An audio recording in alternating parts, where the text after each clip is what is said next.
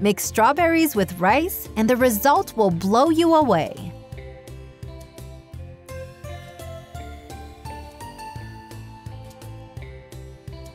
To a pot on high heat, we'll add 20 strawberries, a cup of rice, and water until the rice is covered.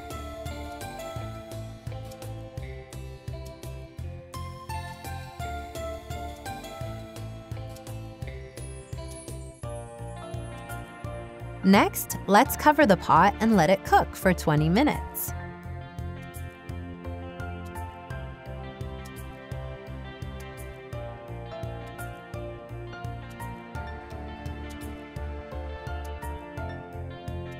After 20 minutes, I'll take it from the heat and pour our mixture in a blender. Let's cover it and let it blend until it becomes a creamy mixture.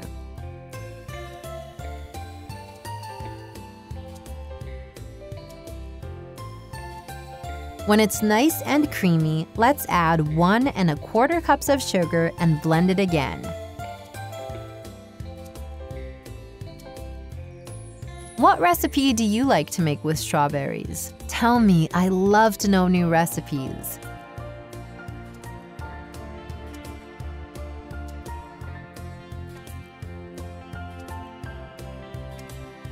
Now let's transfer our whole mixture to a dish with the use of a strainer.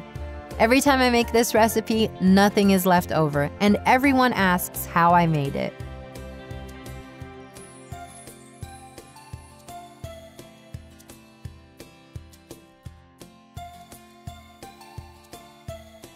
Then let's add a tablespoon of vanilla essence and stir. This vanilla is going to give our juice a special flavor. When you make this recipe at home, come back here to tell me what you thought. I'm sure you're going to love it.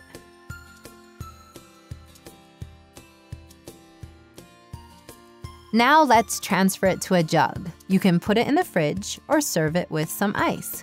And our recipe is ready. Look at this creamy juice. It really is delicious.